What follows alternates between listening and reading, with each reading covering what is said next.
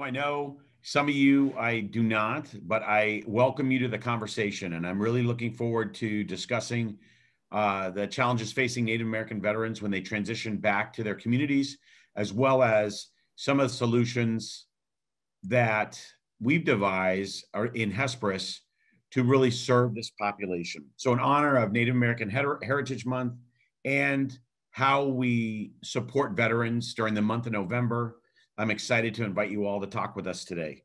Um, to my knowledge, there's never been a discussion like this online around Native American veterans and their service, their challenges, but more importantly, solutions. As you know, all of our communities in the veteran space, and there are, it reflects the reality of American life.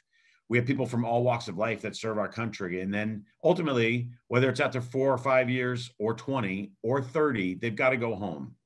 Today, we want to talk about what that looks like in this community and why it's important that we think about not just our active duty service members, but more importantly, why we're focused on veterans and have them having a successful transition in these tribal communities. Uh, I'm Matt Brogdon. I'm a U.S. Army veteran. I've been in recruiting for about 21 years. I've been focused on helping place vets into corporate America and in positions all over the country for almost my entire time out of the service. Um, I focus on job placement, diversity inclusion, but I've also had a great experience in technology, specifically in biotech and the tech industries, um, both uh, you know in the application of technology, but also in the training and placement in technology, which is going to be important when we get to the end of this. So I come to this uh, as a founder and as a director, executive director of Hesperus, with a knowledge of the program, but also with the idea that I don't know everything, which is why I'm bringing this panel to you today, right? Let's all get educated. So today, without um, uh, much more talk and discussion, I want to introduce our panel, and then I want to get right to it. So first, I'd like to introduce Christopher Key. Christopher, you wouldn't mind introducing yourself.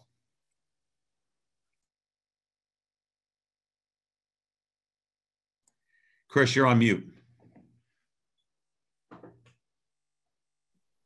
Thanks. I, I, was just saying, I, I deeply appreciate that, um, the opportunity to be part of this panel and, um, and more importantly, being a part of this effort. Um, as you mentioned, my name is Christopher Key. I'm an advocate for Native Americans communities, excuse me, and I'm also the owner operator of uh, True North, which is a consultant company. Um, uh, throughout the past five years, I've been consulting and working with tribal communities to develop and enhance their economic development efforts, um, along with their health and welfare um, efforts, like in all, and um, uh, economic development and education, as well as um, um, human, I mean, natural resources, excuse, excuse me. Um, so I've been doing this for about five years prior to that. I, have had the opportunity to work with several companies, AT&T, JPL, NASA, Qualcomm. Um, I have a background in business and as well as in, as well as a, in engineering. So um, throughout my tenure in the professional mainstream, I have uh, had that fortunate opportunity to work and develop um, programs within these companies to enhance the recruitment of Native Americans. But um, about six years ago, I felt that I, I wasn't making a, a, big enough impact. So I kind of stepped out of the box and decided to go out on my own and um, hang my hat on doing things at an organic level, uh, working with the, the tribal communities. And throughout the, the, the process, I've kind of understood, and it was it's quite obvious to me that um, there was a certain space within these communities that were being overlooked and underserved, and that was the veteran community. So I, um, you know, working and trying to figure out how we best provide opportunities and services to this group.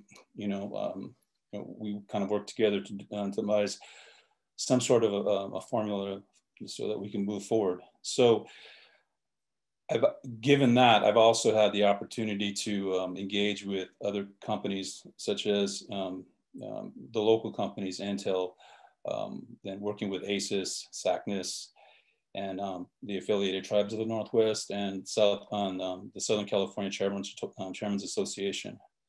So um, moving forward, I think I'd wanted to really emphasize three areas which um, contribute toward the success and achievement of what we're trying to do here, which is education, technology, and employment as it relates to um, at a grassroots level on the reservation side of things. Awesome, thank you. And before I introduce Charissa, Chris, what's your tribal affiliation? I'm sorry, I, I'm an enrolled member of the San Carlos Apache tribe. All right, thank you. Welcome. And uh, I want to introduce uh, Charissa. I've known Chris for six years. Uh, I met Charissa in Los Angeles last year at a hackathon. And uh, then we cheered on the USC football team together. So I appreciate her being here today. Charissa? Hi, Matt. Thank you for having me. I feel very honored to be here as a guest. Um, my name is Charissa Wood. I am affiliated um, and enrolled in the Navajo Nation tribe, um, also known as Diné. Um, and I'm also a Marine veteran. I served uh, from 2002 to 2006 as an administrator, pencil pusher. um, yeah, so that's that's my background. Um, I I have a degree in business administration. I've always um, dreamt of you know owning my own business or um, you know finding some way to contribute to the Navajo Nation because there are a myriad of issues going on since I could last remember. Um, and uh, I worked. I have a background in finance. I currently work for a fintech company, QuickFee, as an administrator. Very grateful for the time to participate in this panel as they let me um, go ahead and do that. So I'm very grateful. I did meet Matt at a hackathon, and um, uh, our team won, and uh, just it's been a great um, great run ever since. And that really gave me some encouragement to continue with my professional endeavors. Um, so um, yeah, great, great, happy to be here. Thank you. Awesome, thank you. And to clear things up, I was not on any team in that hackathon. I was just helping put it together. I'm not technical at all. Um, so the last person I'd like to introduce, and certainly not least, uh, is Kim Mitchell. Kim Mitchell and I were in a fellowship program last year. Um, she is a dedicated supporter of veterans and a veteran herself, but I'd like for her to introduce herself too from, from National. Well, hello, everyone, and thanks, Matt, for hosting uh, this wonderful discussion that I think is uh, very much needed uh, in the in the veteran community today. Uh, a little bit about me is I'm a, a, Navy veteran. I was 17 years in the Navy. Um, uh, when I left the Navy in 2012, I very I basically entered the the nonprofit world, and I've been in the nonprofit world since since then. Since then, uh, really looking at resources and community uh, community engagement of what it really takes for successful reintegration for our veterans, our military families, and our Gold Star families. Um, I'm a, the, currently the senior vice president here at National University for Military Veteran and Government Affairs, and we are the education partner in this endeavor because of of uh, who National is and how we got started by a veteran and and why I think, uh, since I'm leading the effort, that I, I think this is a very much needed uh, endeavor that I think that we can make a positive impact on many of our veterans uh, here in the United States. So thank you, Matt, for inviting me to participate. Thanks, Kim. Uh, so without uh, much more, I want to get right to the heart of the matter. I've had a lot of feedback on this panel, and I've had several people reach out and say, I, I want to make sure we don't focus too much on challenges. We want to focus on solutions. I think that's important, and that's where our focus is going to be today. But to begin with, I want to ask Chris, what are what does the landscape look like from a uh, tribal and an economic background? What does that look like for someone coming back to the tribe or someone who's a member of a tribe? Who's maybe gotten out of first term or is coming back after a, a long career in the military? What does the economic landscape look like for them from a jobs perspective? And more importantly, what resources are there uh, from a tribal perspective for veterans in your experience? Thanks, Matt. Those are really all great questions. Um, I guess to get a really good perspective for everybody else, and I'm not sure everybody else out there is familiar with uh, what it's like to live on a reservation or you know out there you know in maybe an area that is is not federally recognized but above and beyond anything else um, tribes as a whole are are really located in remote areas such as they aren't and they aren't they, they don't have the necessary information or resources available to, available to them as somebody who is in the mainstream. So, you know, from the get-go, we're not even at the gates; we're still in the barn, and so, so to speak. But things are changing, and I think it has to do with a lot with um, the fact that there is more information that's coming out um, readily available, either you know through the internet or just through word of mouth, um, that enables a lot of people to develop a sense of direction on what they want to do. When it comes to Native Americans, veterans who come back, a lot of them, as if you take, if you compare with the ones who are recently separating from the military versus the ones who have in the past, I think um, there's a little of a, a little of an advantage uh, from the sense that you know they know where to go, but still the resources are, unav- are you know are limited, in in respects to you know um, what they need to do to get from point A to point B.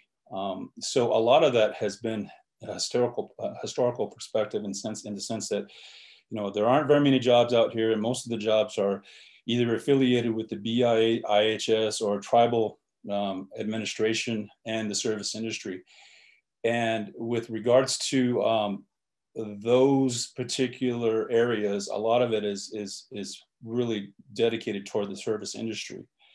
Some tribes, um, there is a, a general overall consensus or maybe people a stereotype maybe is a little strong word to use but people tend to think that most tribes are gaming tribes. And as such you know well they the, the idea is well they don't need money because they have a casino.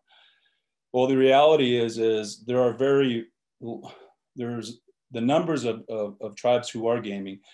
Of those tribes um, not mo- uh, most of them are fairly barely making it so uh, in the sense that, you know, somebody says that, you know, we have money rolling in, you know, that's a, that's a misnomer. So with that, you know, we, we tend to congregate around the fact that a gaming, a gaming entity is going to give us, you know, it's going to be the all, the all, the all be to everything that we, we need to solve all our problems, which in fact it isn't.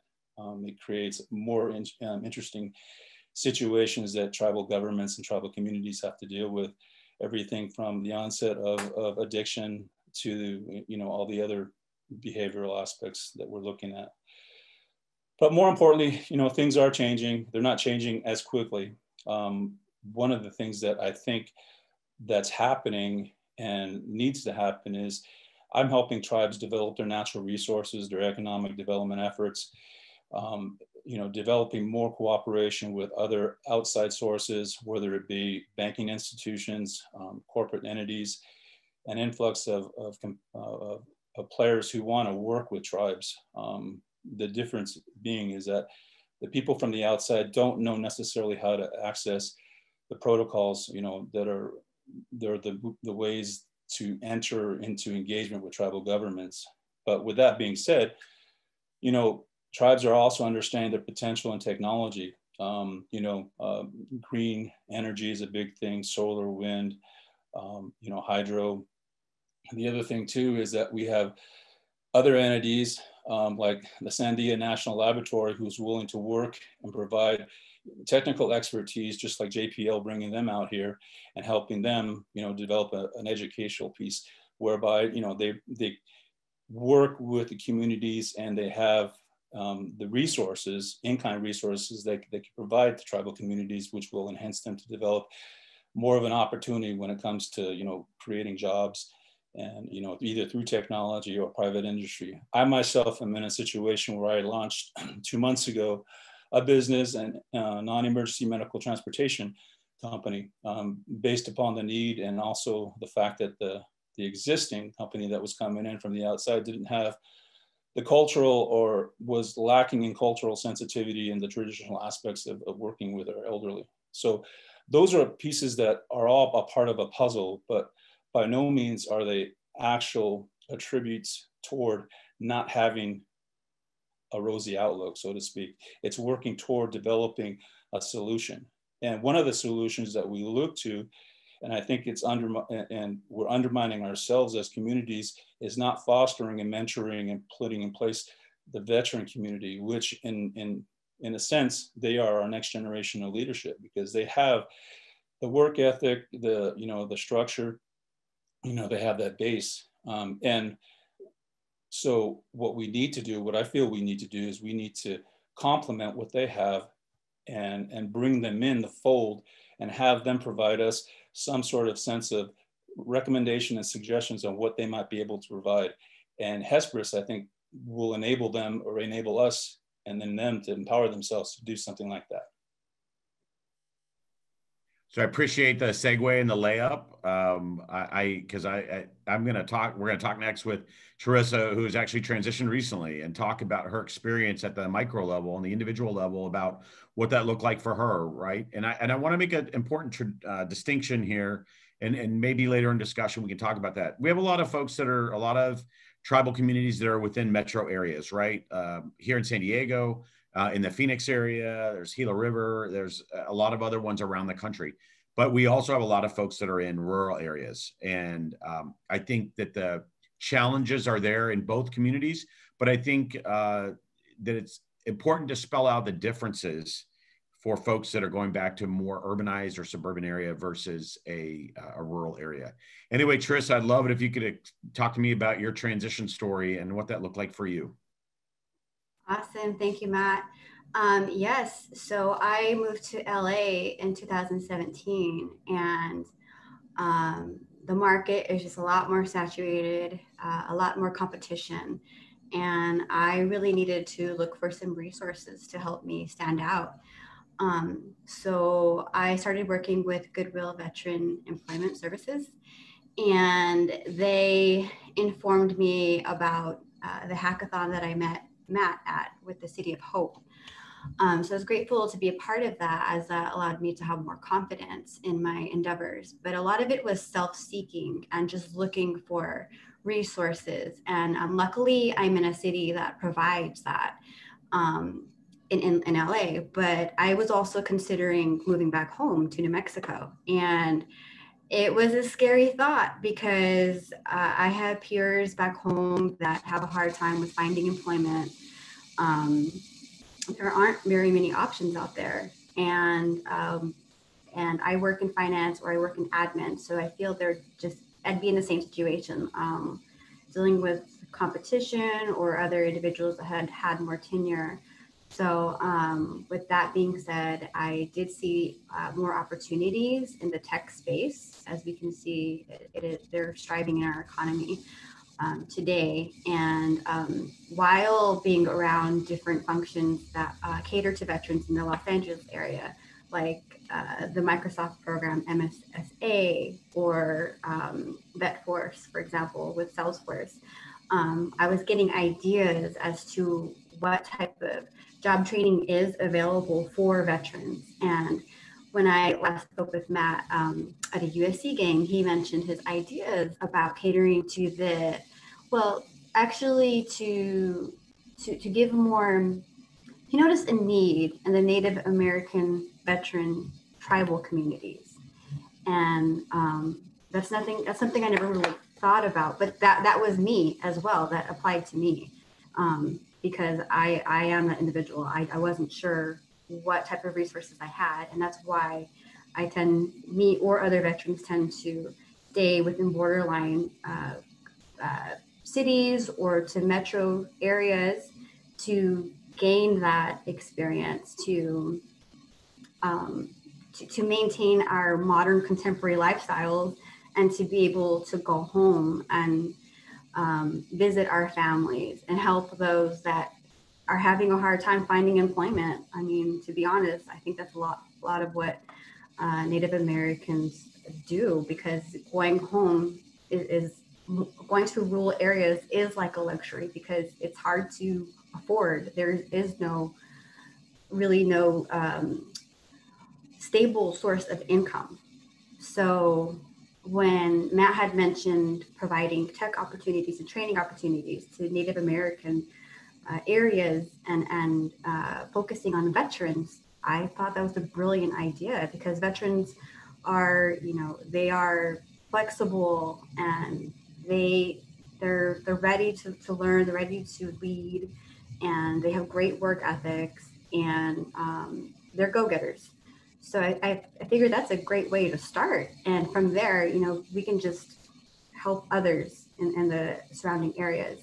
So um, my journey, it, has been self-seeking. I, I do feel um, honored to have more uh, resources available to me. And I believe it's just because I'm in the LA area. But I also, I think about my fellow veterans that are in rural areas and I've had conversations with them and they've either had to be work at home mothers or they just had to um, network through friends, but there weren't very many resources that served them or helped them to transition or build themselves to be where they could be.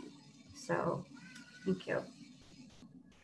No, and I'll tell you uh, two things. One is uh, I have three teenagers in my house, and no one uses the word brilliant when they're referring to me. So I appreciate that. I really do. Uh, I don't think that's ever going to happen. So this is my high watermark right now in this webinar.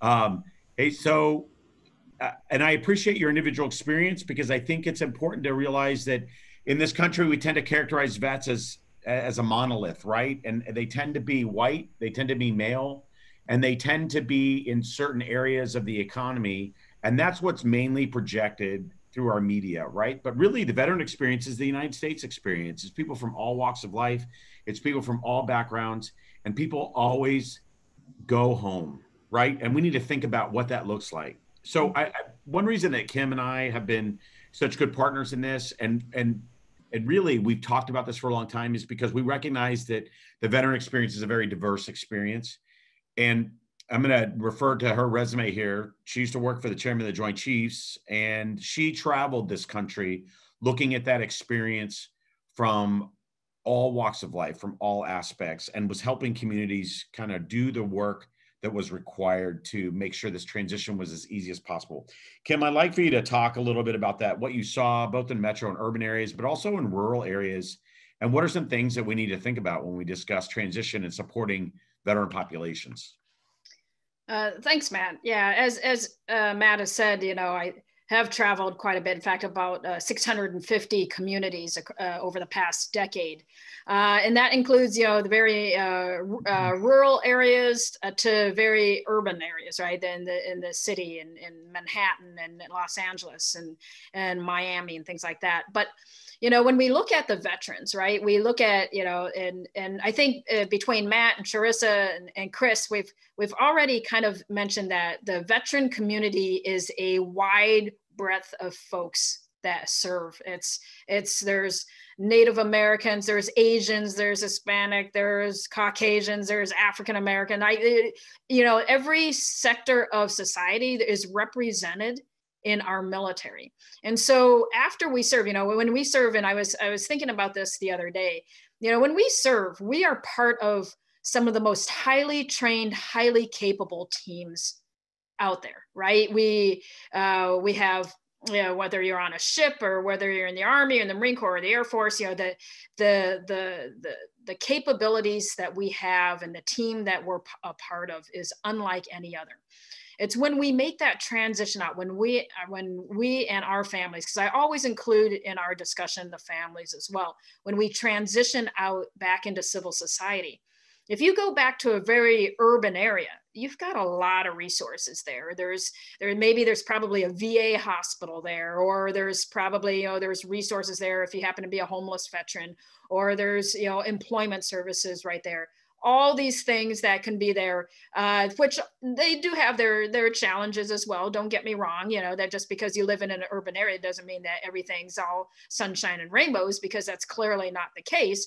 Um, that but when you go to the very uh, rural areas those services don't exist as readily available right? I mean i i heard stories in northern in, in northern minnesota where you know if you if you, veterans up there in duluth had to drive you know three and a half hours just to get to minneapolis.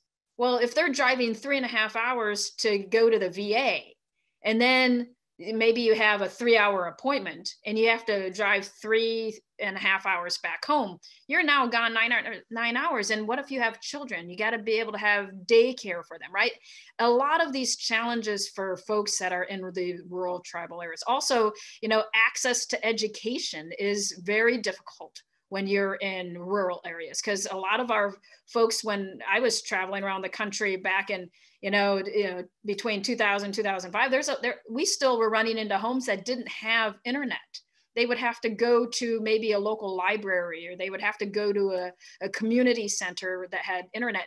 People didn't have these wi-fi hotspots with like you know uh, like beat navy or something as a as a wi-fi hotspot name or something like that. But you know it's it's um, one of those things where it, that the access to resources is what we need to be to to work on. And i think that every community has the capability of being able to figure out what resources they are. We just have to encourage folks to be more inclusive vice assuming that somebody else is going to take care of the problem. And we need to be more proactive uh, vice reactive to to some of the challenges yeah absolutely so, so you know let's kind of get into what does it look like from a problem solving standpoint um, what role and I, I would ask first are there and i know there are but then what role do tribal veteran organizations play when folks return back home right so uh, chris has mentioned uh, and I know that he's had experience with his tribal veteran organization with his father. Um, you know, Charissa, you mentioned it as well. So, what tribal resources are there? Uh, and does it vary tribe by tribe? Is there a national advocacy organization for veterans who uh, are Native American, or is it more, hey, it depends on your community and the resources that your individual community has? And I'm opening that up to the to the group. I'll take a stab at it. Okay. Um, well, basically, the answer is everything's localized from a, from, from a tribal community perspective. Um, you know, we're based on our budget is based primarily on government uh, funding resources that come available, and therefore um, associations, veterans associations, are equated to you know whatever trickle down they get from the federal from the tribal budgets. Um, so the reality is that it's limited, and, and when everything is limited, everything is in kind. Sometimes, uh, you know, they have to pick up the pieces in order to get from point A to point B. Um, and there's more that can be done. It's just a matter, uh, you know, of, of, finding alternative or options that can meet the shortfall. Right, and the way I see it is, um, if, you don't mind me stepping in, um, that a lot of what is available now is not necessarily working. Um, a lot of my peers or um, other veterans I, I, I, I talked with, they mentioned that they had to fend for themselves, that just like everybody else, they were looking for employment and just had to acclimate where they could see fit just to have income, to put food on the table, take care of their families. Um, so it, it, it just doesn't seem to be working at the moment. And that's why feel other organizations that know how to implement processes or ideas would definitely benefit rural areas. We could use the help. And especially now during the COVID crisis, um, I don't see any veteran officials coming out to really implement any programs, and especially in the Navajo Nation, um, everything has to be distanced. I, I, believe right now it's on lockdown, um, so nobody's going anywhere. And if they don't even have internet access, and I have a very good article I, I could put in the chat box. It's good. It, it's very it has a lot of good stats um, that stresses the um, scarcity of internet access. Yeah, please do that. And there are two things I want to highlight. I'm not going to get into it because again, we only have an hour and it's late for some of you. I'll probably put you to sleep. But the important thing is to understand two things. One is the digital divide on uh, in rural communities, especially tribal communities. In other words, broadband access and the access to technology. The second piece is the impact of COVID in these communities too. We hear about that a lot in the abstract. For those of you that live in these areas, um, you know what I'm talking about firsthand. And that has a direct impact on all sorts of aspects of life, but especially on transition, finding jobs, and employment specifically. This is a big deal. It's it's it's impacting us as a nation, but in tribal communities and in rural communities without these resources, um, it, it's a major issue that will have ramifications and consequences long after we have a vaccine for COVID. Um, I wanted to ask another question uh, before I talk a little bit about Hesperus uh, and what we're doing in this space before we open it up to Q&A, right? Like I'm eager to, I see a lot of questions coming up and I'm excited uh, to talk about some of your, your questions. But for Kim, I wanted to ask you, you know, these aren't just veterans and they're not, they're also non-traditional students in the academic sense, but they're adult learners. The reason I partnered with National University is a very simple one. Can you talk about this particular type of student and why there needs to be a special sensitivity around them? Oh, absolutely. So, uh, a little bit about National University. We actually were founded by a retired Navy captain who saw the need to figure out a way to provide educational uh, curriculum to adult learners, uh, to folks that are already working, that already had a job, that non traditional student, um, and uh, in a 30 day format where uh, you start a class on the first and you've taken the, the final by the 30th. Uh, and and only focusing on one subject per month. Uh, and so it, to this day, National University, our, our students are primarily the non-traditional students, uh, the adult learners, folks that are already married, already have careers, uh, children, a family. And so most of our, you know, when COVID hit and, and, you know, everyone had to go online, National University, we were primarily already online. We only had to move roughly 20% of our courses uh, uh, to online. The majority were already online. Most of our course, courses are offered in an asynchronous fashion, meaning that you know when when you go home after working all day and you know preparing meals and helping children do homework or do whatever it is that adult learners do and then maybe you can log on at two o'clock in the morning after everything's done to do your coursework. That's okay because that's the way the courses are structured.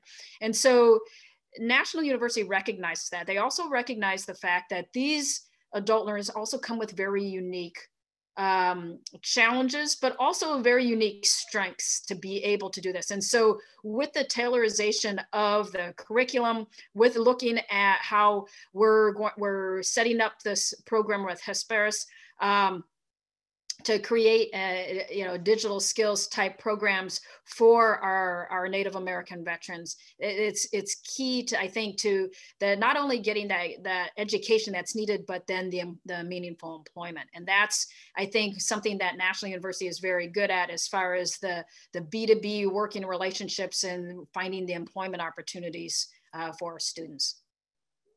Matt? Yeah, go ahead. I'd like to make uh, two points here, um, given kind of the direction we're going in.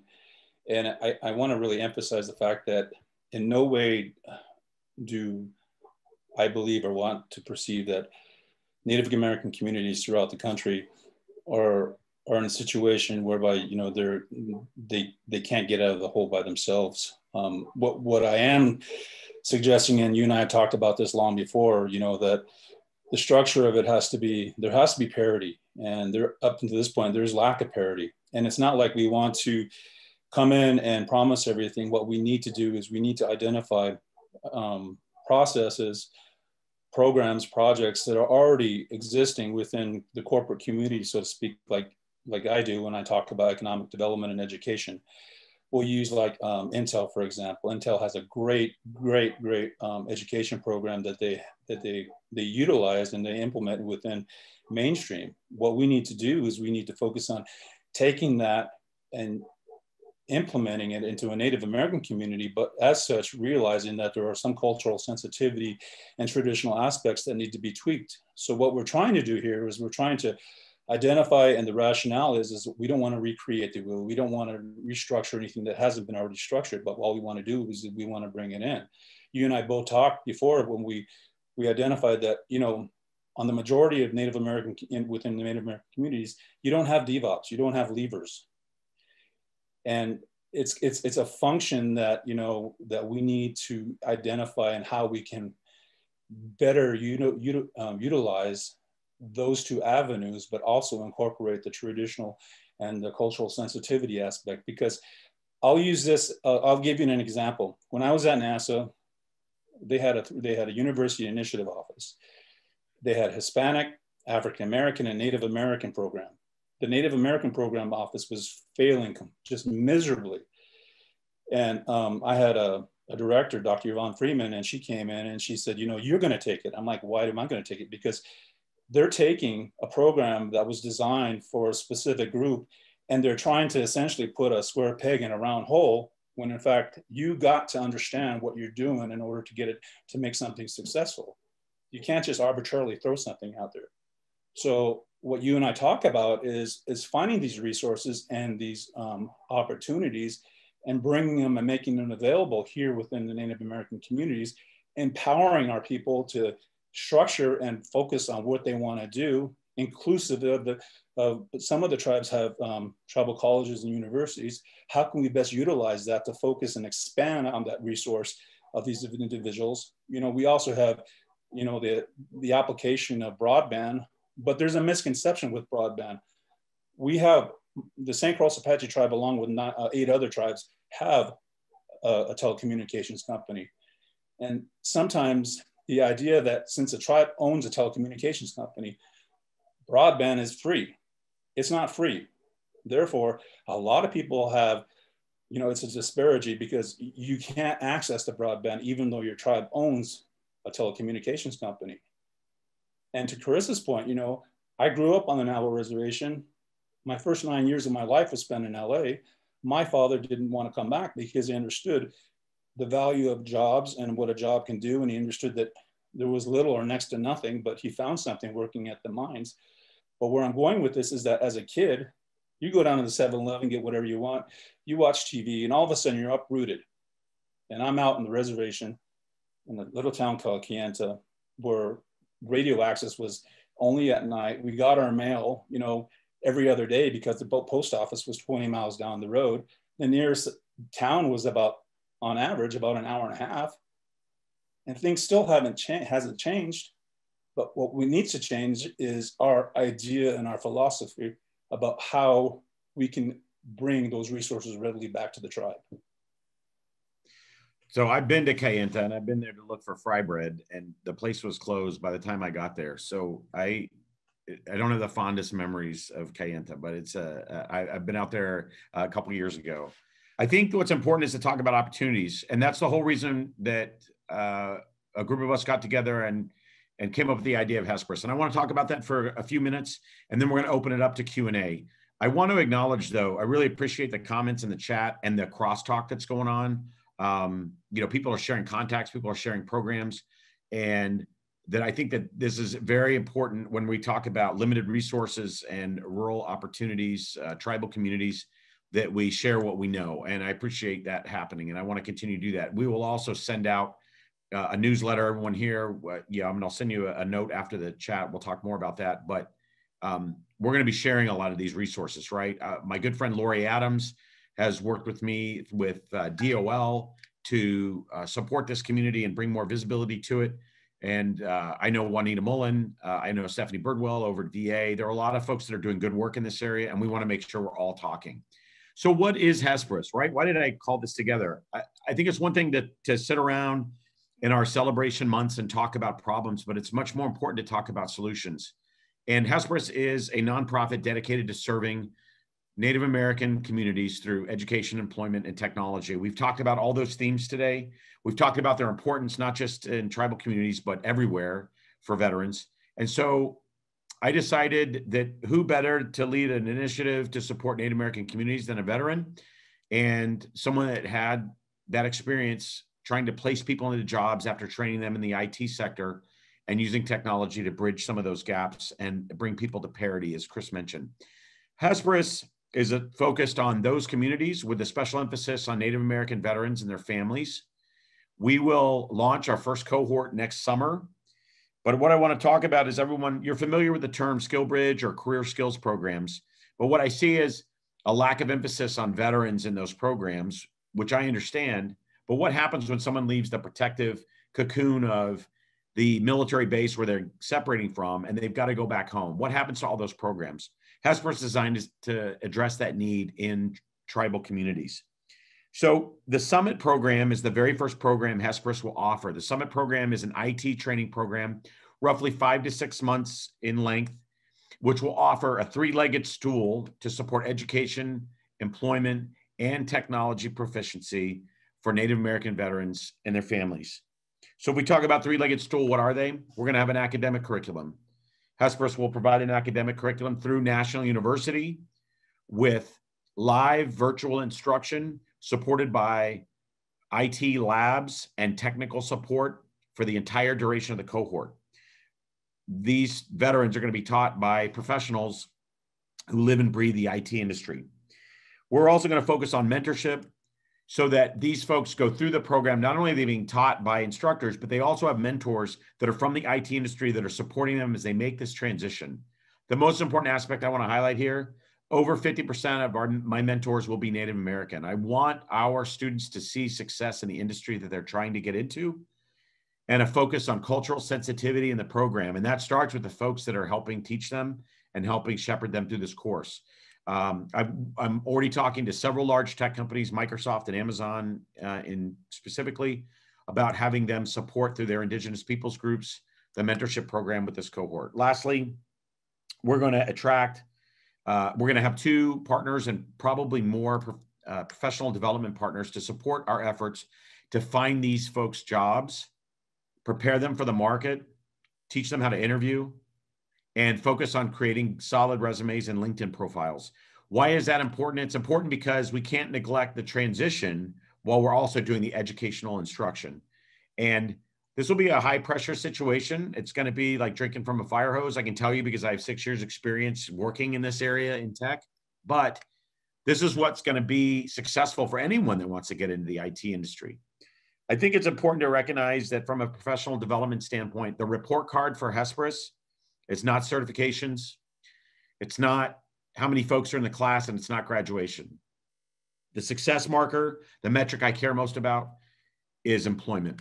And all of us at Hesperus will be very focused on jobs or opportunities that lead to jobs through technical training out of our program. So, uh, having done this for a while, you know, Charissa mentioned it, Chris mentioned it. Jobs are the stability factor for the individual, for the family, and for the community. Solid employment means stability for everyone. And that's going to be the marker for success for our program. Uh, I mentioned that we'll start next summer. Uh, COVID may have something to do with that, but we're striving to develop to deliver a virtual program uh, by next summer. And we want to ensure that uh, folks on this call and as we get this program up and running are aware that this will be culturally sensitive, as I mentioned before, for Native American students. Um, you know, one thing we didn't talk about is why is it important to have a culturally sensitive, culturally sensitive program? And why is it important to create opportunities job opportunities that are either on reservations or close to home?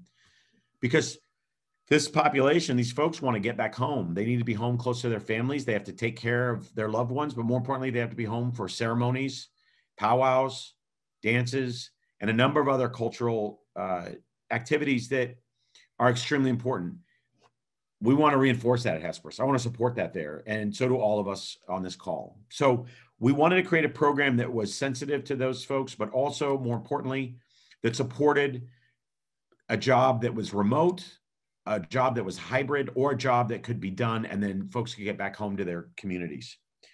Who do we partner with? We're going to partner with Native American advocacy organizations. Chris has mentioned uh, AISES. I have an active partnership with the American Indian College Fund and a the uh, Intertribal Council of Arizona. We'll, we have a number of other folks that we'll be talking to and strengthen our relationships with so that they understand we're here for them and we're here for the community.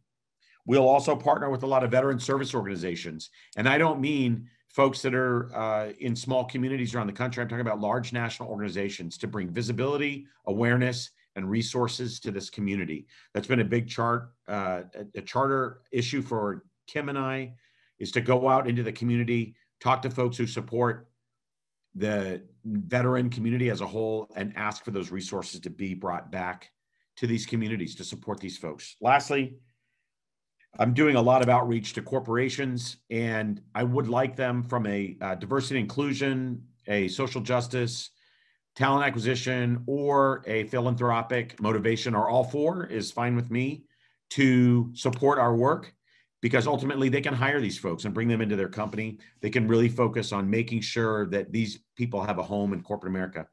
Uh, joining us tonight is Danielle Applegate from Cerner Corporation. Cerner has been my very first corporate sponsor. I just wanted to thank her publicly. She's been awesome. But Cerner is dedicated to investing in this community. And there are other companies that we'll be talking to and working with that are going to do that. So there are people listening outside of the community that understand the importance. And I'm bringing them to the table and I want them to support the work we're going to do. We're going to be in a cohort model. And I think the most important thing to understand is that this program ultimately will be free for participants in the Native American community, especially vets. We're building toward that. Right now, we're going to have to use some government uh, benefits like the GI Bill as we get it off the ground. But my goal from a fundraising standpoint, and I know that Kim and I have discussed this at length, is to ultimately make this free for folks as they come into the program. And so that it serves as a, a point of transition, a new beginning, rather than a point of stress and a financial burden as they transition out of the service and move into their new job in corporate America. So, that being said, I see that folks can go three different ways. One is into uh, an entry level job in the IT industry from this program. Second, then go into deeper technical training, such as with a, uh, I would use uh, Microsoft data centers or a similar program as a possibility for that jumping off point. Intel has a native veteran scholars program as well as a veteran scholars program. And then lastly, uh, I would say that this is also a stepping stone to higher education, whether it's through tribal colleges or through community colleges and institutions, uh, you know, four-year college, including National University, so folks can continue and get their degree that way. This is a jumping off point, and I want to take a, a, a moment to recognize that, uh, you know, I regret that there's not something out there, and I saw the opportunity last year. I talked with a lot of smart people that are in this space, and we decided it was time to do something. And so this Hesperus is something I think we can all be proud of, but more importantly, I'll need your support and I'll really need your input. Uh, as I mentioned, I'm glad to see the chat lines opening up. I sound like I'm doing some sort of Memorial Day or or Labor Day, uh, you know, telethon or something. But it's great to see all the crosstalk and discussion around this. I gave you a very quick overview of Hesperus, what we're doing, and more importantly, our launch.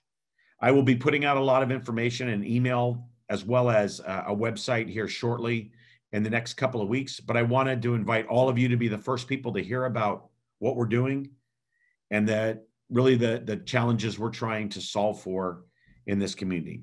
With that, uh, Mike, I'm going to open it up to questions. And, um, you know, I want to be able to, in about 10 minutes, answer some questions if I can.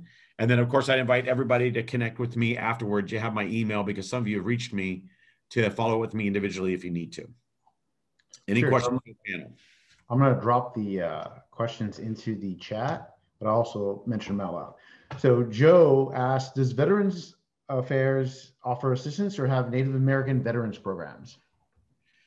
They do. Uh, the VA has special programs involve everything from homeownership to uh, a special tribal liaison. All uh, chairmen and leaders of Native American tribes have direct, direct access to the upper echelons of leadership at the VA. And there are also several partnership programs that they have. One of my goals is on our next talk in a couple of months is to bring in one of those liaisons that we have that manages the American Southwest and that I've spoken with before. So they do have programs in terms of uh, housing and some uh, connection and communication programs but where the VA needs, I, I, think, some work, or where I would suggest some work, and we've talked about this as in telehealth programs for rural and tribal communities. I think that's very important, as well as some work Chris and I have done trying to connect healthcare providers on the reservations with uh, VA referrals that are an hour or two away to make sure that that is a seamless transition, right? I think there's a lot more work we can do there.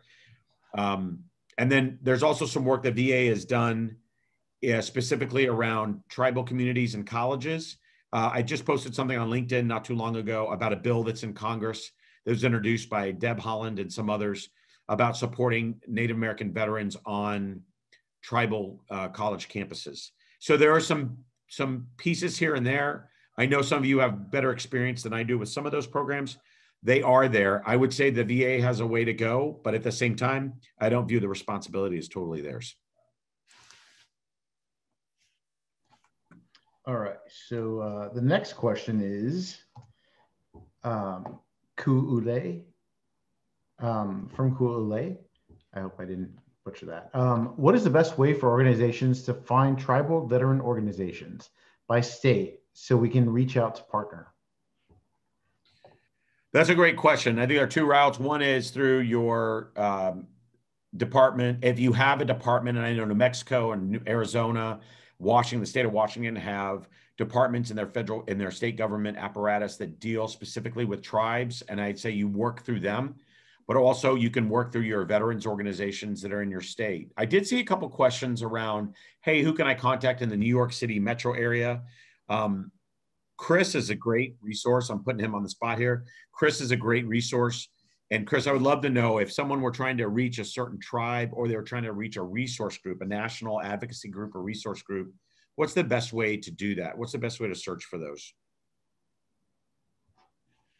Well, there are a couple ways. There's one where each region has their own organization. For instance, uh, Northwest Affiliated Tribes, uh, Southern California Tribal Chairmen's Association here in Arizona. You know, you have the ITCA up in the Northwest. Um, it's the Confederate Tribes.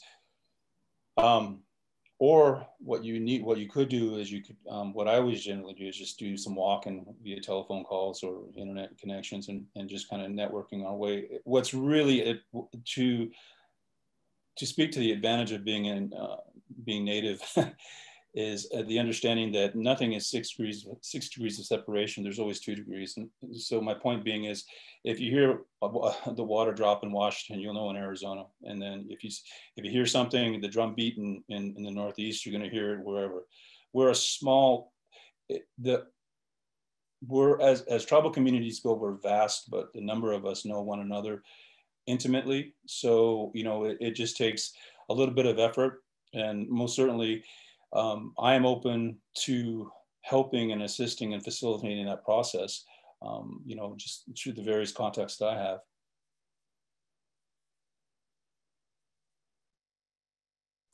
Sorry, I was on mute. I'll direct any question I get to the appropriate folks on the panel uh, to give you the best information. Um, I think that would be important. I also saw a question in the chat, Mike. I'm going to jump over you real quick about small business uh, administration and entrepreneurship.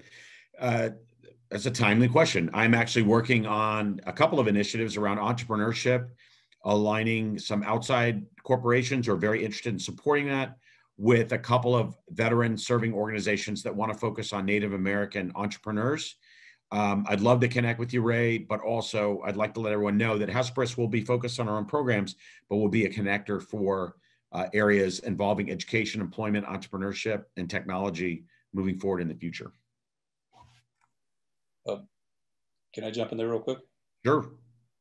Um, yeah, uh, to add on to what you just said, another resource that the individual, individual might want to contact is Chris James or Chad Marsden at the National Center for American Indian um, Enterprise Development. Um, they certainly have the fortitude of finding or providing um, the individual with either information about SBA loans or 8A certifications, um, any which way you might think of. So um, I highly recommend reaching out to them. They're also they're also the organization who sponsors Res um, each year. And unfortunately, because of COVID, I think that's probably going to be um, um, held back for a little bit. And Res is the um, um, it's just a um, got me on the spot here is the Reservation Economic Summit. I'm glad you answered that because I couldn't have told you. All right, another question.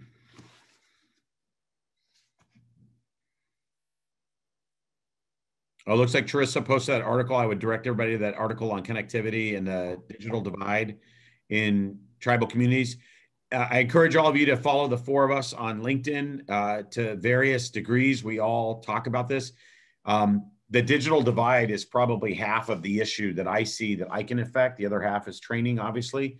Um, you'll see a lot from me on that. You'll be sick of it. In fact, you'll probably unfollow me, but I'll be honest, it's one of the greatest challenges that are facing rural communities, but specifically tribal communities. And, and we've alluded to some of the FCC um, discussions and controversy that's happened in the past around this, this is a huge area uh, for what I would term improvement to be uh, exact. We can do a lot better in this area.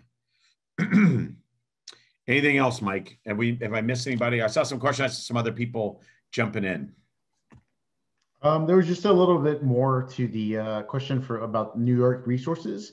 Uh, they were looking for um, additional reemployment or tech skill trainings, basic computer skills, MS Word, Excel, uh, that are geared toward Native American veterans. So resources or uh, places that they can go to to um, find these kind of uh, uh, trainings. Okay, yeah, and I would ask you to reach out. I know of a lot of trainings that are possible through the tech industry that aren't necessarily mainstreamed. In other words, they reside on these philanthropic websites and then nobody knows about them. Um, I'm connected to several organizations that support, like Microsoft, uh, Salesforce, through their VetForce program, as well as some others. Um, and and I think in closing with what I want to talk about, and you know, to kind of sum this up, is that ultimately we're going to work with veterans and start with vets and their families, but as Chris mentioned, we view the next generation of leadership in these tribal communities starting with vets. And if you look at the landscape for tribal chairmen, council members, business leaders, and other folks in the community, a vast disproportionate number are vets, and they lead the way. And we feel that this is a great area to concentrate our efforts initially, but we serve the whole community. Hesperus will serve the entire Native, Native American community and we'll create a lot of opportunity, whether it's through education, employment, or just broadband access, Wi-Fi access. That's our mandate, and that's our goal. So um, I uh, I want to close by saying number one, I appreciate everybody being here. If you're on the East Coast, you probably noticed the light in everybody's rooms. We've all gotten darker and more stark. I don't know if shadow is good for us or bad. Probably good for me. You guys are there are less of me to see. But the important thing is that I appreciate you taking the time to learn more and to listen more. We're going to be doing a lot of outreach. Uh, please follow us, Hesperus, on LinkedIn. Um, we'll put out all of our social media contacts through a follow up email. But also, uh, I will uh, send you a newsletter for your participation today, and we'll continue to follow up with you about what we're doing and the progress we're making. We're excited about some of our sponsors. We're very excited about some of our partners. And as those become official, we're going to let everyone know about the good work we're doing in this area. Lastly, what can you do? What role can you play? Number one, I like to highlight those programs that are successful that people are aware of that other folks need to know about. Number two, what's the need out there? And where do you see opportunities? And I'm talking about around specific initiatives and with tribes and communities that are moving forward you know, we're always looking for people to partner with, and we can deliver a lot more sometimes than we even know ourselves. So I'm always looking for opportunities. Lastly, after this call, you'll get a an email, a follow up email. Um, we will have this call recorded, and there'll be an opportunity for you to support Hesperus directly. Um, you know, we're in the awareness phase. We're also in the fundraising phase, and I appreciate anybody that is interested in supporting us, uh, whether it's from a, a mentorship uh, level, hiring our graduates next year, or that want to support us uh, directly through financial or other means. We're going to do a lot together. And I appreciate all of you being here at the start of the journey. I really want to say thank you to my panel, Chris, Charissa, and Kim, about taking time out to talk about this issue. But most importantly, you all either learning more or, and I know a lot of you, you're going to take the opportunity to help me learn more, which is what I want. And I will include you on the journey as we get Hesperus underway and we begin our work in this community. So, again, thank you. I hope everyone has a great night and I hope you enjoy your holidays that are coming up, right? I don't know with COVID how the holidays are going to feel, if it's going to be a break for us or if it's going to be another day in the house, but uh, I hope everybody has some good plans and they celebrate safely. Thank you very much.